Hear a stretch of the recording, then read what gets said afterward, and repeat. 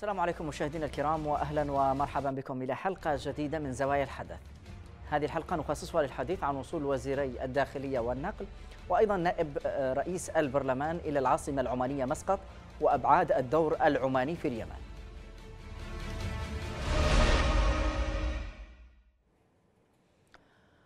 وصل وزير الداخلية والنقل ونائب رئيس البرلمان إلى العاصمة العمانية مسقط في زيارة رسمية تستغرق بضعة أيام وذكر الموقع الإلكتروني لوزارة الداخلية أن نائب رئيس الوزراء وزير الداخلية أحمد الميسري ووزير النقل صالح الجبواني ونائب رئيس البرلمان عبد العزيز جباري سيبحثون مع القيادة العمانية عددا من الملفات الهامة ومستجدات الوضع الميداني في اليمن. وتأتي هذه الزيارة عقب إصدار المسؤولين الثلاثة بيانا دعوا فيه إلى إنهاء دور الإمارات في التحالف على خلفية دعمها للتمرد المسلح في عدن وقصف الجيش الوطني. في هذه الحلقة من زوايا الحدث نقف عند هذا الموضوع لنناقشه في محورين. ماذا يمكن أن تقدمه زيارة الوزيرين في الحكومة الشرعية ونائب رئيس البرلمان لمسقط؟ وما هي أبعاد الدور العماني في الملف اليمني؟ نشاهد سويا هذا التقرير ومن ثم نبدأ النقاش. دور عماني متزايد في الملف اليمني يثير الكثير من الأسئلة وعلامات الاستفهام حول حقيقة الدور العماني في اليمن. منذ الانقلاب الذي قامت به ميليشيا الحوثي كانت مسقط رئة الانقلاب ومحطة إقامة وانطلاق الوفد الحوثي المفاوض والعديد من المسؤولين السياسيين في الميليشيا. في مسقط التقى ممثلو الحوثي بالعشرات من المسؤولين الغربيين أبرزهم وزير الخارجية الأمريكي السابق جون كيري الذي كان يحمل فكرة تسوية تخدم الحوثيين. استخدام مسقط في اللقاءات الحوثية لم يتوقف منذ مطلع العام 2015 حيث التقى الحوثيون هناك بسفراء ووزراء خارجية عدة دول أبرزها بريطانيا وروسيا والسويد والاتحاد الأوروبي ومبعوثي الأمم المتحدة. منذ إقفال مطار صنعاء وبقية المنافذ الحدودية استمرت المنافذ المؤدية إلى عمان مفتوحة بشكل مستمر أمام المسافرين اليمنيين ولم تتأثر حتى بعد السيطرة السعودية عليها. تنامي الدور العماني في الملف اليمني. يراه مراقبون انعكاسا لأهمية الدور العماني في إدارة العلاقات الأمريكية الإيرانية وتمكن مسقط من لعب دور محوري في إطلاق معتقلين أمريكيين في إيران وآخرين كانوا لدى ميليشيا الحوثي. ترتبط الأطراف اليمنية بعلاقات قديمة مع عمان بحكم التاريخ المشترك واعتبار المهرة محافظة تحظى بالرعاية والاهتمام العماني. تعزز هذا الاهتمام بعد وصول القوات الإماراتية والسعودية إلى هناك في بداية العام 2017 الخارجية العمانية أعلنت أكثر من مرة استعدادها للدور بالوساطة في الأزمة اليمنية متكئة على علاقتها الجيدة بالحوثيين ولم يتم التقاط هذه الرسالة من قبل الحكومة الشرعية بسبب توتر العلاقة السعودية والإماراتية مع عمان. زيارة نائب رئيس البرلمان ووزيري الداخلية والنقل يبدو خطوة في سياق البحث عن حلول بعيدة عن الرياض وأبو ظبي لكن هل ستكون بعيدة بذات المسافة عن طهران؟ تلك قضية لا يمكن التكهن بها دون معرفة ما ترمي إليه الحكومة الشرعية من وراء تلك الزيارة ومآلاتها إذا نبدأ النقاش مشاهدينا وأرحب بضيفي من لندن المحلل السياسي الدكتور محمد جميح. دكتور مساء الخير. مساء النور. أهلا بك دكتور. يعني كيف تقرأ هذه الزيارة الآن التي قام بها جباري والوزيرين الميسري والجابواني إلى عمان؟ طبعا أنا لا أتصور أن أن هناك يعني ما يمكن زيارة منسقة أو أنها ربما تكون يعني هم مسؤولون رسميون صحيح لكن لا أتصور أنها يعني زيارة متعمدة من الحكومة اليمنية لإرسال رسائل محددة هي زيارة قام بها مسؤولون ثلاثة من كبار المسؤولين لكنهم طبعا معروفون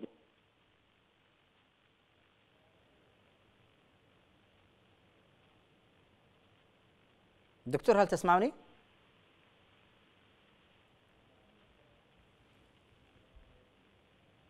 نعم. إذا يبدو أن الاتصال بالدكتور محمد جميح قد فقد وسيعاود الزملاء التواصل به مرة أخرى.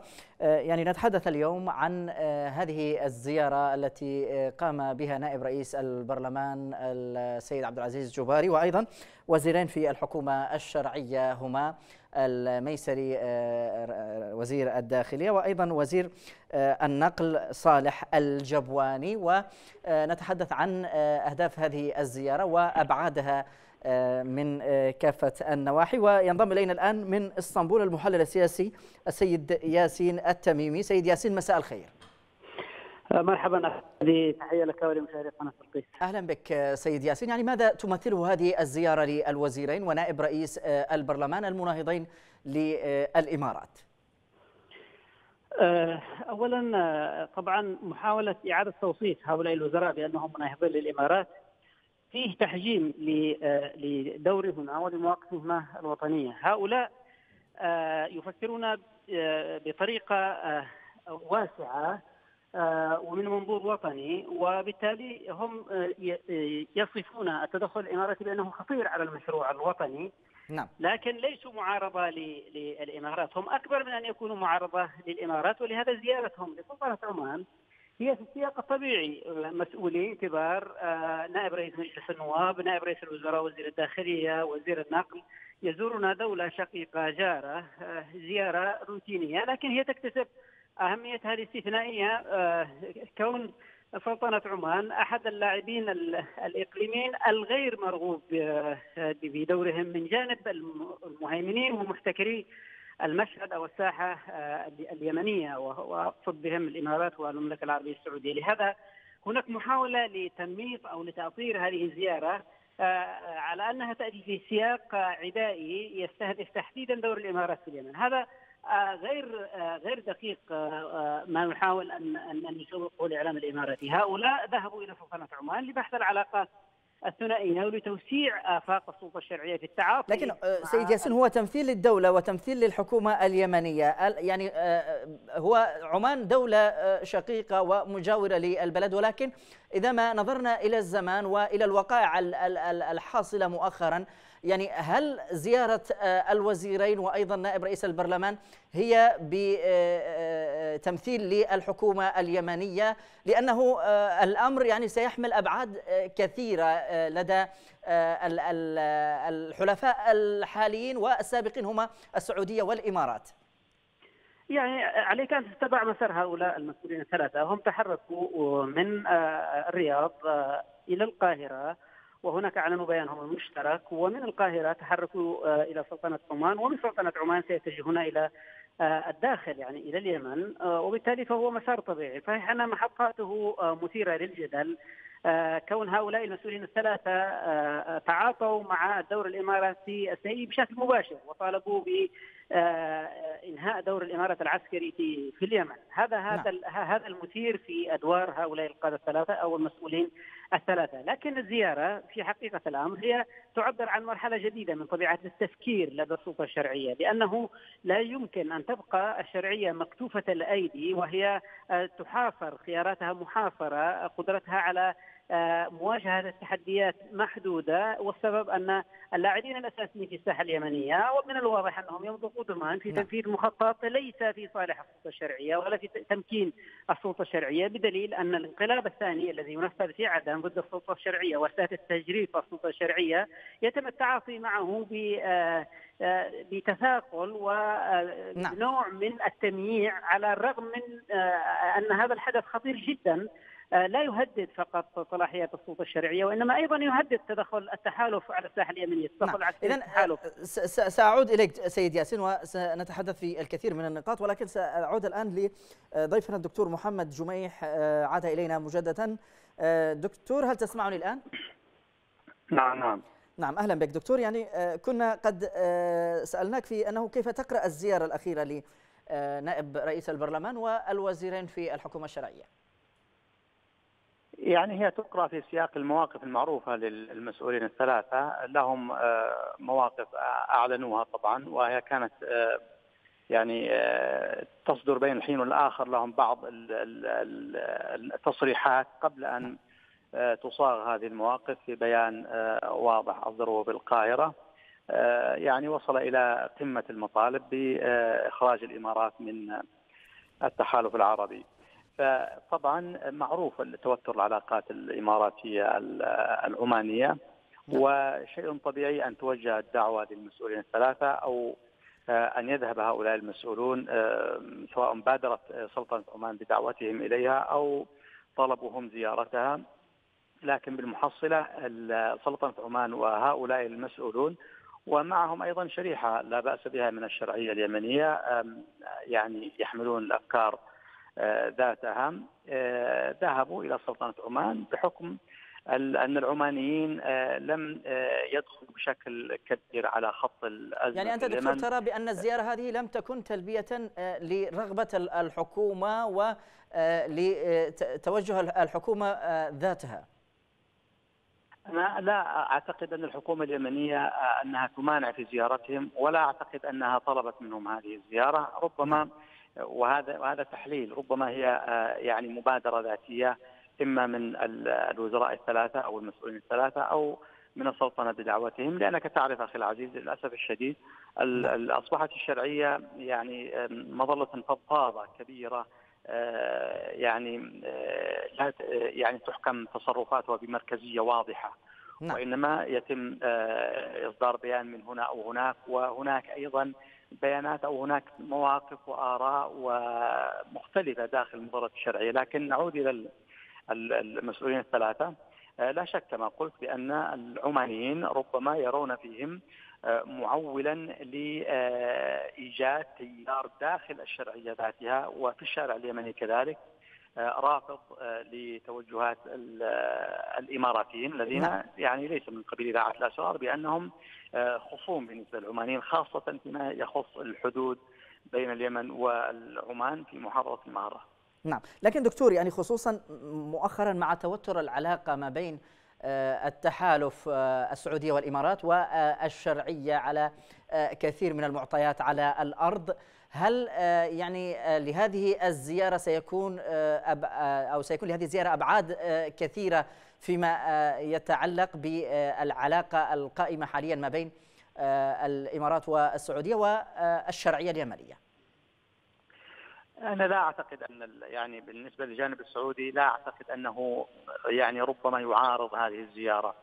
السعوديون طبعا أبقوا على اتصالات أمنية مع العمانيين وربما ترغب السعودية بأن تكون عمان بما يخص الأزمة اليمنيه على هذه الوضعية بمعنى أن تظل خارج الصراع حتى إذا ما جاء أو حان وعد للتسوية يكون العمانيين دور وبالتالي لا أتصور أن السعوديين يمكن أن تكون لهم معارضة وان يمتعضوا من زيارة مسؤولين الثلاثه إلى عمان لأن العلاقة بين السعوديين والإماراتيين ليست ب يعني توتر العلاقة بين العمانيين والإماراتيين وبالتالي يعني كما هو معروف خرجوا خرج المسؤولون من الرياض ذهبوا إلى القاهرة ثم ذهبوا إلى مسقط ربما يعودون إلى الرياض ربما يذهبون إلى الداخل لكن يعني لا توجد هناك قطيعة بين العمانيين والسعوديين. وبالتالي أيضا لا أتصور أن تؤثر هذه الزيارة على العلاقة بين التحالف.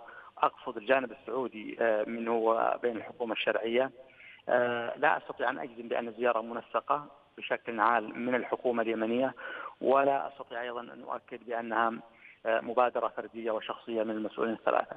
نعم إذا ابقى معي دكتور. أعود للمحلل السياسي السيد ياسين التميمي. سيد ياسين هل نحن مقبلين على يعني تشكل دور جديد لسلطنة عمان في اليمن والدخول بذات الدائرة دائرة التدخل في الشؤون الداخلية خاصة يعني بعد أن كان لهذه الدولة دعم وموقف واضح مع الحوثيين. وتقديم نفسها كوسيط في الملف اليمني سابقا وحتى الآن. سلطنة عمان هي نأت بنفسها عن مجريات الأحداث في اليمن كطرف مؤثر يمكن أن يعني ينساق وراء حالة الاستقطاب التي التي تحكم المشهد اليمني. بمعنى هناك من يؤيد الانقلاب وهناك من يحارب الانقلاب. عمان هي قناة أرتضى بها الجميع في تقديري خلال الفترة الماضية. واحتفظت بدور الوسيط وإن كان دور الوسيط غير غير المرغوب فيه من جانب دول التحالف. لكن في نهاية المطاف سلطنة عمان أعتقد أنها احتفظت إلى حد كبير بالحدود المطلوبة في علاقتها مع الدولة اليمنية، أبقت على الحدود المتفق عليها فيما يتعلق بالدولة اليمنية فهي تتعاطى مع الدولة مع النظام الرسمي في اليمن باعتباره الممثل الشرعي لليمن، تتعامل مع الحوثيين باعتبارهم طرف في الصراع وهذا تحت أنظار المجتمع الدولي لأن حتى المجتمع الدولي يريد أن يلتقي بالحوثيين وقد اختار ربما مسقط أحد النوافذ الأساسية للتعاطي مع طرف أساسي في الصراع وهو الحوثيون. هناك أطراف كثيرة فهمت أن سلطنة عمان لأنها انفتحت على الحوثيين فهي تؤيد الحوثيين. لكن أيضا لسنا حالمين ولسنا مثاليين سلطنة عمان لها مخاوفها ولها هواجسها الخاصة خصوصا بعد التحرك العسكري السعودي في المهرة وهي المحافظة تقريبا الحدودية مع اليمن. والمسألة لا تتعلق بنفوذ تقليدي عماني في المهرة لأن اليمن ليس مشاعا وليس يعني بمعنى ليس مباحا لأي دولة أنها تمارس نفوذها فيه، لكن في نهاية المطاف عمان يعني ترى أن التواجد العسكري في المهرة قد يؤثر على علاقتها باليمن، قد قد يخلق حواجز أو قد يساعد في خنق خيارات سلطنة عمان نفسها، فهي تريد أن تتعاطى مع مع جارها اليمن بدون وسيط، بدون منغصات، بدون إزعاج. هذه هواجس تبقى لكن حتى هذه اللحظة العلاقات اليمنية العمانية السعودية الإماراتية علاقة ضمن الحدود الدنيا من التفاهم والمشتركات وهناك لقاءات دورية على مستوى المسؤولين سواء مسؤولين سياسيين أو مسؤولين أمنيين. لهذا عمان لا شك خلال الفترة الماضية طورت دورها فيما يتعلق بالساحة اليمنية وأصبح يعني مروحة خياراتها بالنسبة للأزمة اليمنية واسعة قليلا بحيث زيارة المسؤولين الرسميين لسلطنة عمان واحدة من هذه المراوح بمعنى أن عمان انفتحت على كل المكونات السياسية اليمنية وليس فقط نعم. على الحوثيين لهذا أنا أعتقد أن زيارة المسؤولين اليمنيين يمكن أن تبقى في إطارها الرسمي بمعنى أن مسؤولين يمنيين ويفترض أن السلطة الشرعية تمتلك خياراتها وبالتالي زيارة أي دولة سواء سلطنة عمان أو غيرها في الإطار الطبيعي وفي الإطار المطلوب أو يمكن أن يكون لهذا وهذا ما شاهدناه من خلال الإعلام الإماراتي. يمكن لطرف ما أن أن أن يذهب بعيدا في تقييم نعم. زيارة الوفد الحكومي باعتباره نوع من التصعيد. لكن تصعيد ضد من؟ إذا إذا كانت الإمارات التي تعتقد أن هؤلاء الوزراء يعارضون وجودها في اليمن قد ارتكبت الخطأ الذي لا يمكن السكوت عنه من هؤلاء الوزراء أو من غيرهم.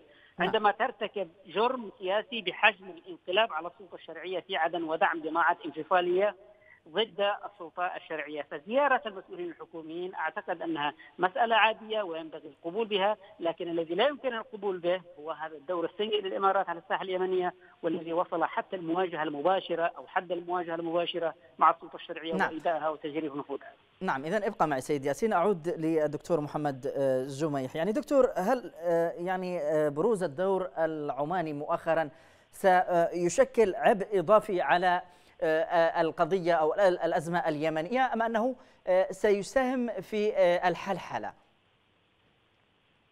أنا أعتقد أن العمانيين لهم يعني بعض الأهداف التي يريدونها.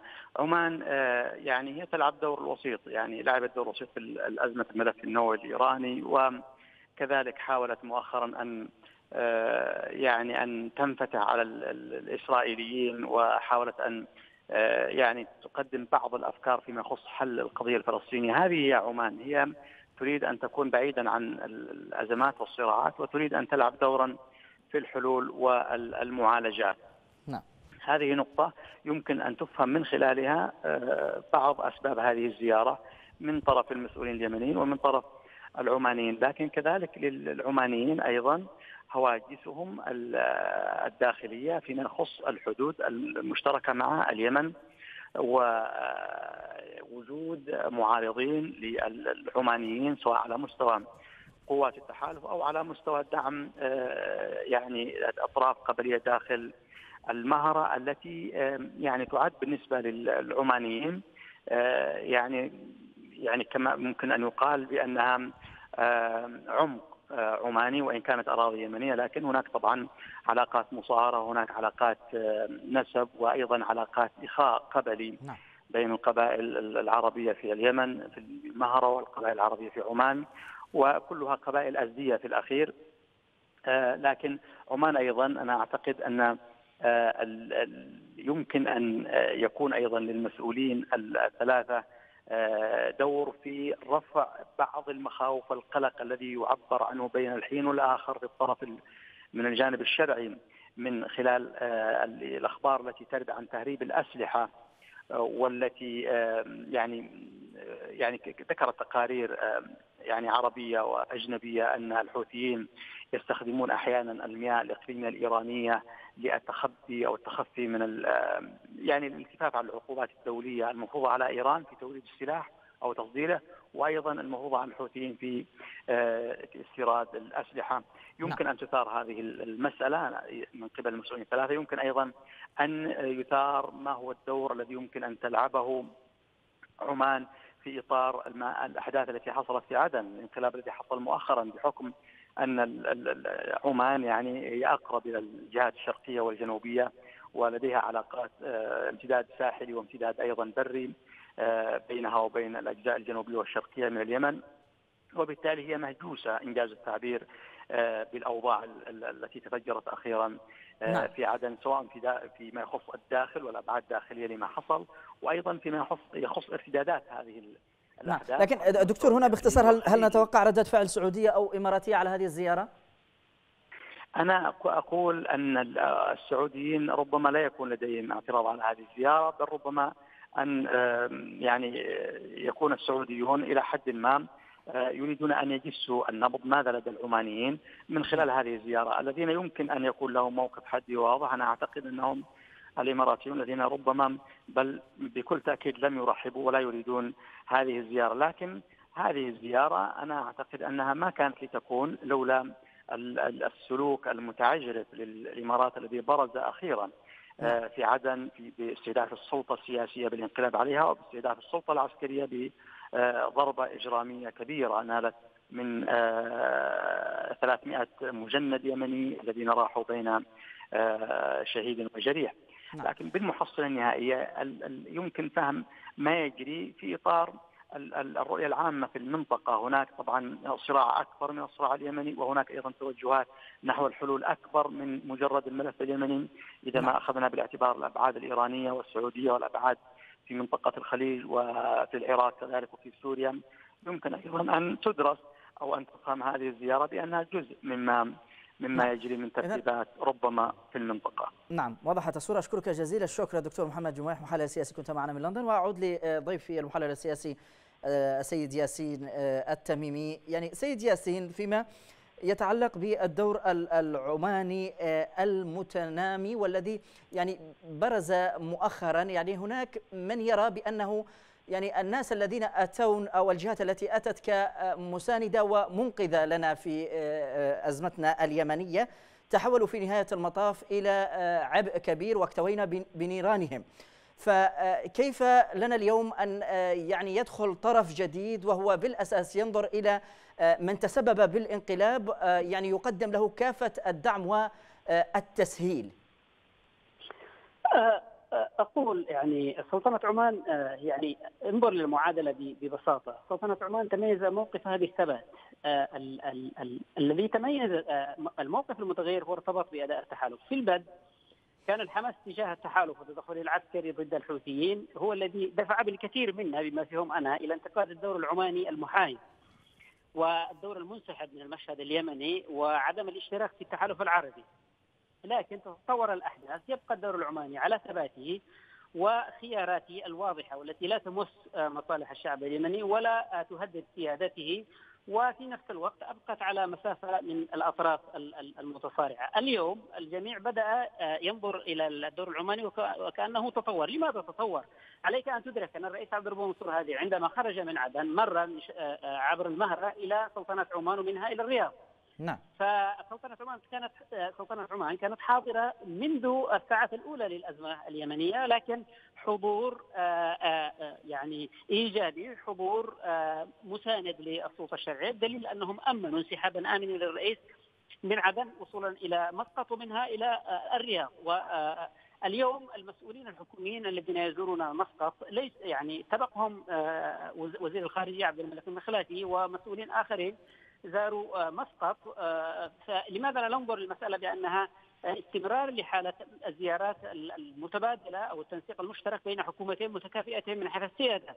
نعم. هذا واحد، اثنين بالنسبة لسلطنه عمان هي دائما ينظر إليها من زاوية أولويات الدول التي تتحكم بالمشهد اليمني، ولا يجب أن نتأثر باولويات هذه الدول لأنها أولوية سيئة في نهاية المطاف. لم تأتي تبين أنها لم تأتي لمساندة السلطة الشرعية وإنما لترتيب الوضع في اليمن بما يتفق مع هواجسها الأمنية وكراهيتها ضد التغيير في اليمن ونزعتها المسبقة لإفساد عملية التغيير ومن ثم حتى إعادة هندسة المشهد السياسي في اليمن الذي والذي يصل إلى حد تفكيك الدولة اليمنية بهدف إضعافها.